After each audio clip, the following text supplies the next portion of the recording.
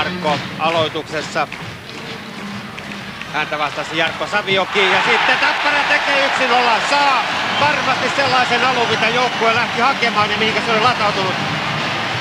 Tämä alku oli Tappara alku ja tämä maali oli tavallaan ilmassa, sillä Tappara tuli terävämmin tuosta tuon pelin alun ja taas yksi näitä playoff-maaleja. Kiekko viivalle ja sieltä veto ja todennäköisesti hidastettuna nähdään kuinka siinä on vähän maskia ollut ja kiekko menee Pietilän ja jalkovälistä. Tässä on miestä aika paljon Pietilän edessä ja hyvä maski Tapparan pelaajalta tässä näin. Haapää tekee hyvän maskin, maila heilahtaa ja kiekko häviää näkökentästä vähän aikaa. Siinä näytti ensin sille, että Haapää saa mailansa väliin, mutta se menee kyllä suoraan Derek Mayerin laukauksesta. Näin Derek Mayer, joka hänkin viimeisiä pudotuspelejä Tapparassa. Mies, joka on myöskin NHL jälleen esiintynyt Arvo-joukkueessa. Iskee Tapparan ajassa 1.55, 1-0 johtoon. Ja Tappara tekee toisen. Tappara tekee toisen, kun vain 16 sekuntia kulunut edellisestä maalista.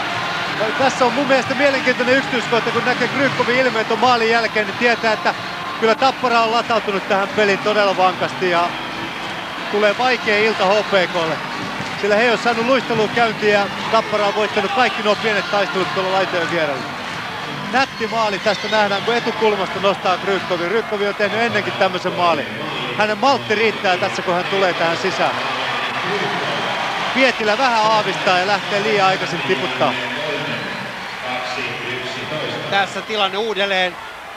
Ja siinä Krykov sekoittaa oikeastaan HPK puolustuksen. Siinä miehet hukkuvat ja kukaan ei oikein tiedä, kenen mies Krykov on, kun hän sieltä kulmasta nousee. No totta, että HPK tavaramerkki on tänä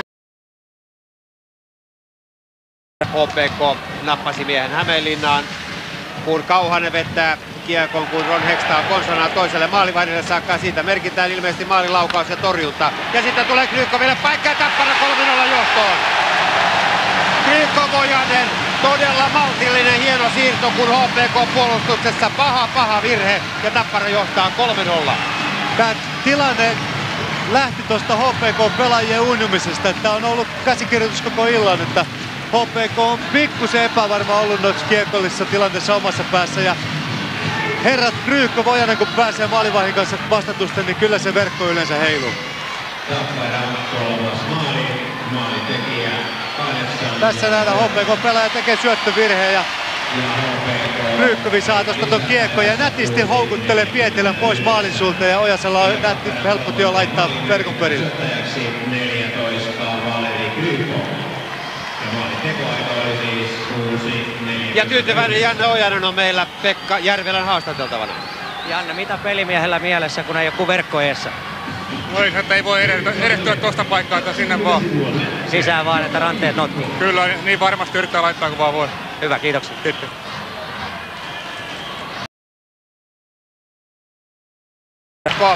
Tämä ampuu ja maalin edessä ohjaamassa. Rykko HPK purkaa kuitenkin, mutta Mayer pitää hyvin kiekon alueella sisällä. Ja sitten Ojanen vetää suoraan syötöstä tolpan kautta. Täysin vapaana oleva Janne Ojanen. Hyvin siellä HPK puolustusneliön takana. Ja Tappara johtaa 4-0. Huomaa, että Janne Ojanen pelaa golfia paljon, sillä tämmöisestä syötöstä suoraan laukaisua on vaikeeta. Näyttää helpolta, mutta erittäin vaikea tehdä tää tuolla pelissä. Tarkka laukaus etukulmaa, etu tolpan juuresta. Ja ehkä toinen tämmöinen tärkeä huomio tässä on, että kuinka hyvin Majeri näkee tämän poikikentän syötön. Ja kova napakka syöttö ja ei voi muuta sanoa kuin, että mestarillinen suoritus. Ja aika ratkaiseva oli muuten myöskin tämä suoritus täällä siniviivalla, kun Maier pysäyttää tuon kiekon, taistelee sen itselleen ja pitää alueen sisällä. Pohjois-amerikkalaiset pelaajat yleensä pystyy pelaamaan laidan vierusta tilanteet hyvin ja se kiekko ei yleensä tuu sieltä ylös.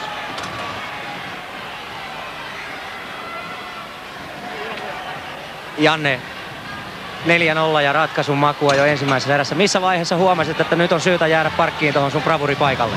Meijo pelaa niin hyvin tuon viivan, viivan pelin, että kaikki muut oli siellä toisella puolella, että mä että Meijo näkee mut ihan varmaan ja sieltä se näki ja oli tosi paljon tilaa siellä maalissa.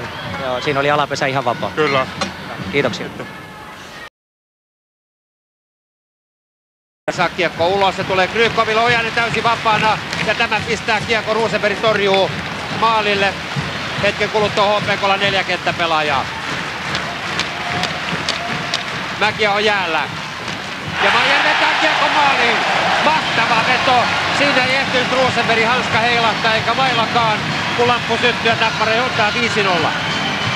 Tulee vanha ja jääkiekko mieleen, sillä tässä oli kaksi nopeita syöttöä ja suoraan syötöstä laukaus. Ja siihen on maalivaiheen vaikea tulla mukaan, sillä hän joutuu seu- su- seuraamaan kaikki syöttövaiheet ja hän on tässä tilanteessa yleensä myöhässä, kun laukaus lähtee. Kyllä tämä on tämä Tapparan peruskuvio, Ojanen, Jut- Jutila, Maier tossa ja, ja tota, he, he on niin kauan pelannut tuon saman kuvion kuin mä muistan itse ja Ramikin varmasti muistaa ja, ja tota, se tuntuu tehovan vuosi vuoden jälkeen. Tässä tämä ratkaiseva hetki on tämä Laksolan suora kääntö Maijerille. Jos hän olisi ottanut tämän kiekko haltuun, niin tämä maali ei todennäköisesti olisi syntynyt. Laksola Krykov syöttäjinä 15-50 maalintekoaika. Tappara johtaa 5-0. Ja nimenomaan vahvuus on se, että siellä on molemmilla puolilla ampujat. Maijeran puolella. Rinnalla ojennus. Maalin edessä hyvin Barkov. Maijer. HPKlla neljä kenttäpelaajaa. Peltomaa jäällä. Sitten takatolpalla. Upeasti vapaana Alexander Barkov ja mahtavaa Harri Laurilan syöttö. Tämä on just sitä tapparan ylivoimaa, että sille jos mies on vapaana, niin se kyllä löydetään noilla kovilla syötöillä. Tuossa Maijerin Laurila teki tuo esityö ja nähtiin kuinka Parkkovi lähti takatolpalle ja mailla vaan jäässä ja siitä suora, suora jatko tuonne maaliperukoille. Tästä näin. Maijerin nopea kääntö ja siitä Laurilla näkee pikku liike ja sieltä takatolpalle Parkkoville ja nähdään kuinka kova tämä syöttö on. Se on Haareen välistä ja voisin väittää, että tätä yritettiin tätä haareen väliä, että se, se ei ole tuuria, jos se menee tuota välistä, vaan jotkut pelaajat pystyy syöttämään näin tarkasti. Kyllä siinä Laurilalta oli loistava syöttö maalin takakulmalle ja Parkkovilla oli itse asiassa aika helppo työ laittaa kiekko sisään. Toisen erän viimeinen peliminuutti on jo käynnistynyt. Tappara johtaa 6-1. Silmiin pistävä on Tapparan pelin rentous tällä hetkellä ja jos jääkiekkoa pelataan hyvin, niin täytyy olla määrätty rentous. Ja Rento oli tämäkin maali. Brad Meyer, Brad Meyer, Derek Meyer tietysti näkee jälleen hyvin oma miehen maalisuulla ja oma miehen on Ari Haanpää, joka panee mailan väliin ja upea ohjaus suoraan yläkulmaan ohi Rosenbergin. Tässä nähdään taas kuinka Maijeri saa tuossa viivassa ton kiekon itselleen ja heti nopeasti näkee, että maali edessä on heidän mies ja heittää sinne haan päälle kiekko.